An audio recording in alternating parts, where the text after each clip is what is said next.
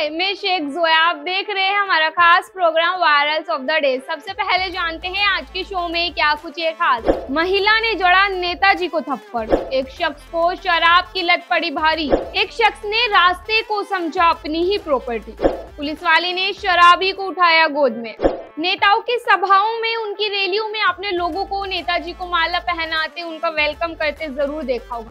लेकिन अब जो एक वीडियो वायरल हो रहा है, उसमें आपको एक, इसका बिल्कुल अपोजिट दृश्य देखने को मिलेगा। वीडियो में एक महिला कार्यकर्ता, बहुजन समाजवादी पार्टी के सांसद, रामजी गौतम को थप्पड़ जड़ती नज़र आ रही है। थप्पड़ जड़ने की वजह ये बताई जा रही है कि लोकसभा चुनाव में उसे टिकट नहीं दिया गया था।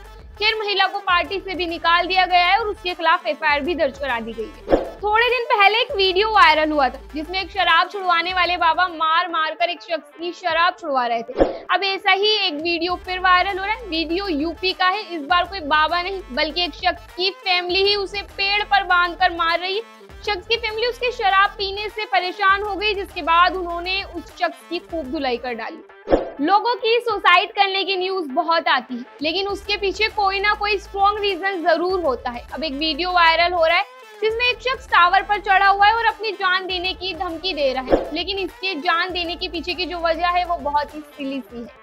एक सात फीट चौड़ा रास्ता है, जिसके लिए ये शख्स कहता है कि इसे मेरे अलावा कोई भी यूज़ नहीं कर सकता।